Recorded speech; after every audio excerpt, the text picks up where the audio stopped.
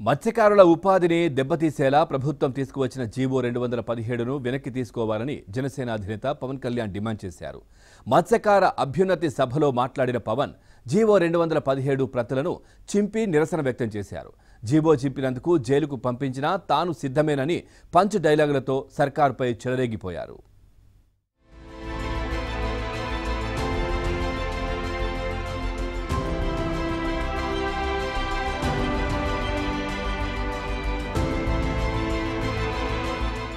YCP నేతల పిచ్చి మాటలకు చేతలకు భయపడేది లేదని జనసేన అధ్యక్షుడు పవన్ కళ్యాణ్ స్పష్టం చేశారు. సహనంతో ఉంటున్నామని అది బలహీనత కాదని తమ బలమని పేర్కొన్నారు. జైలుకు వెళ్ళేందుకైనా సిద్ధమన్నారు. చావనైనా చస్తా తల వంచేందుకు సిద్ధంగా లేనని హెచ్చరించారు.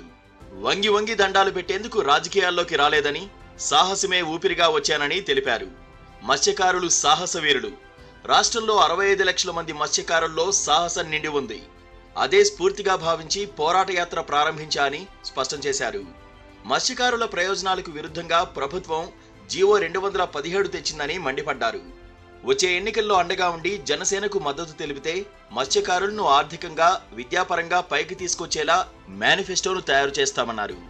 పశ్చిమ గోదావరి జిల్లా నర్సాపురంలో ఆదివారం జనసేన ఆధ్వర్యంలో నిర్వహించిన మత్స్యకార అభ్యున్నతి సభలో ఆయన ప్రసంగించారు.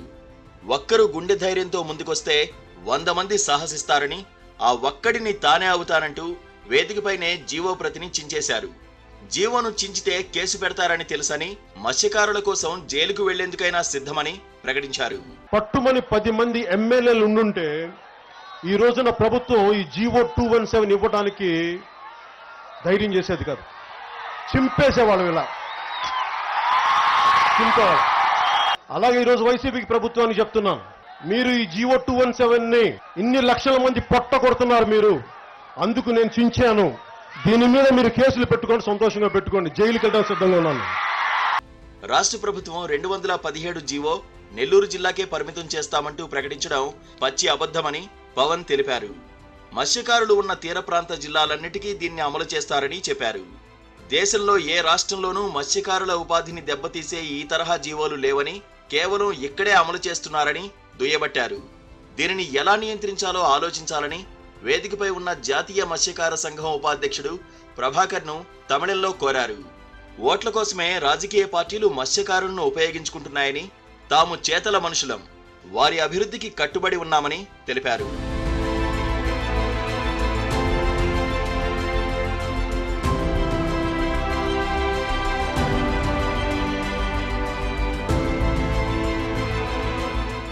సమస్యలు వారే సృష్టిస్తారు. పరిష్కారం చూపించి మార్కులు కొట్టేస్తారు. ఎవరి దగ్గర డబ్బులు ఉండకూడదు.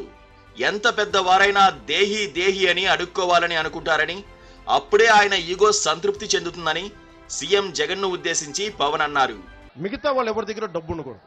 ఎంతసేపు మనందరం దేహి అని అంటుండాలి. వాళ్ళ దగ్గరికి వచ్చి ఎంత పెద్ద స్థాయి వ్యక్తి అయినా సరే సార్ జగన్ గారు కొంచెం మీరు మాకు చేయాలి సార్ మాకు. పెద్ద చేయాలి మాకు.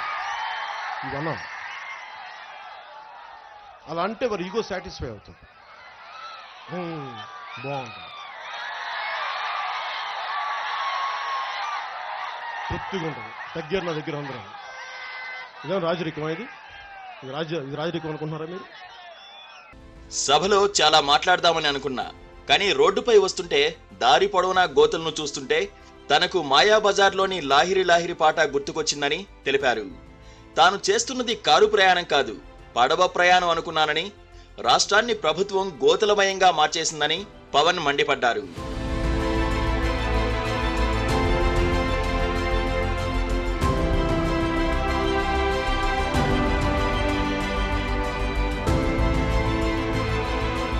మరోవైపు పవన్ కళ్యాణ్ పశ్చిమ గోదావరి పర్యటనలో అడుగడుగున పోలీసుల భద్రతా వైఫల్యం స్పష్టంగా కనిపించింది. జనసందోహాన్ని చూసి పవన్ కారుపైకెక్కి అభివాదం చేస్తుండగా అత్యుత్సాహంతో ఓ యువకుడు కారుపైకి దూసుకొచ్చాడు.